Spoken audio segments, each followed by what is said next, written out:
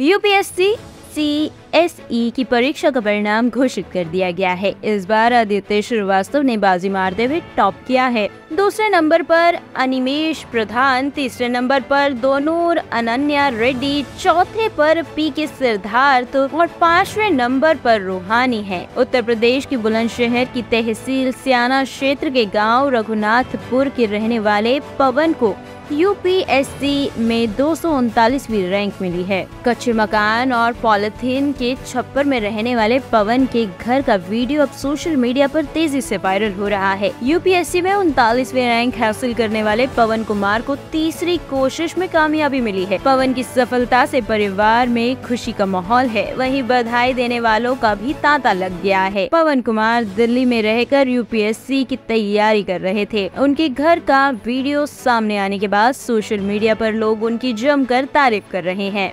क्या नाम है आपका? मेरा नाम गोल्डी राना आज आपके भाई का आईएएस में सिलेक्शन हुआ है। किस तरह की खुशी का माहौल है आपके यहाँ? खुशी हो रही है कि हम बयान नहीं कर सकते पूरी फैमिली वाले। अच्छा कि यहाँ कितने समय रह के उन्होंने पढ़ाई की? किस तरीके से उनके पढ़ाई का वो था? हम्म, वो उन्होंने सेल्फी स्टडी की और सबसे ज़्यादा तो वो बाहर ही रहा घर पे बहुत कमी से रहा। आपका क्या कहना है जी? मेरा नाम भैया सोमान है। अच्छा आपके लड़के आज आई एस में सिलेक्शन हुआ है तो आपको कितनी खुशी हो रही है? तो बहुत ही खुशी है ज़्यादा से ज़्यादा खुशी है। अच्छा। और आपके और कितने बच्चे हैं? बच्चे चार हैं। अच्छा क्या क्या कर रहे हैं? भैया ये तो खेती बाड़ी कर रहे हैं पढ़ लिख के ठीक है धन्यवाद। टॉप स्टोरी ब्यूरो के लिए बुलंदशहर से अवनीश त्यागी की रिपोर्ट।